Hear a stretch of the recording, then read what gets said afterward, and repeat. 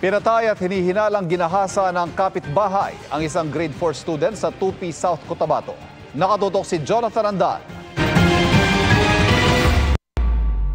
May 10 nang huling pumasok sa paaralan sa Tupi, South Cotabato ang grade 4 pupil na si Casey. Di niya tunay na pangalan.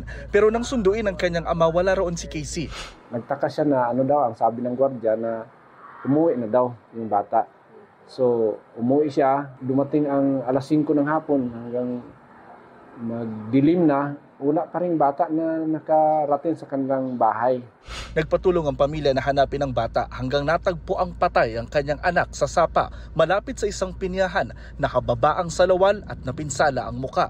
Sa investigasyon sinabi ng ilang saksi na huling nakita ang sampung taong gulang na biktima kasama ang lalaking kapitbahay na edad 44. Hinuli ng mga pulis ang sospek. Iba ang magtanong sa kanya, iba ang kanyang sagot. Hindi consistent yung ano, bakit nandoon siya sa abando o sa isolated place na yon hindi man siya uh, worker doon sa uh, dole o, o sa pinyahan Habang kinukunan ng fingerprint sa presinto ang sospek, nakipag-agawan daw siya ng baril sa pulis. Nasaksihan ito ng isa pang pulis at binaril nito sa ulo ang sospek. Dead on arrival siya sa ospital.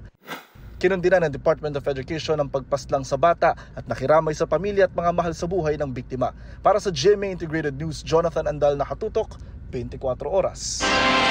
Mga kapuso, patuloy na tumutok sa mga balita. Mag-subscribe sa GMA Integrated News sa YouTube.